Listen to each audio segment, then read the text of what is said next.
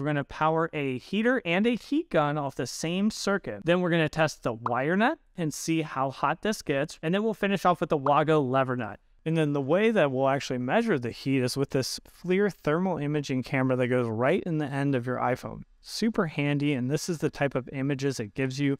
You just put your crosshairs on the point that you actually want to test. We can see the plug is about 84 degrees Fahrenheit. This is the baseline condition after five minutes of running. And I'll look inside to see the screw terminal. For the baseline, I really want to see that screw terminal where the hot conductor comes in and the highest temperature I'm seeing there is about 84 degrees Fahrenheit. we look at the graph itself, the baseline, as expected, was the lowest. The wire nut has a little bit more resistance in that connection, but the Wago lever nut, well, it has less contact surface area, creates more resistance, thus creates more heat, but it's all relative to what?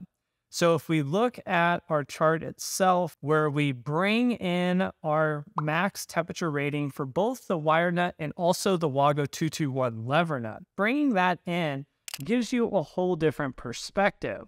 Now you wouldn't want to see these components go over 221 degrees Fahrenheit because that would be outside of the design range. And you can see across all of these scenarios, we are well below the design range even with the 23 amp load for 20 minutes. So what do you think? I'm interested to hear your guys' feedback. For me, this gives me more than enough confidence to continue using the Wago 221 lever nuts and have full confidence that they're going to stand up to anything I throw at them in my residential use at my own home. Hopefully, this just gives you a little bit more information on your projects at home and what kind of wire connectors are you using.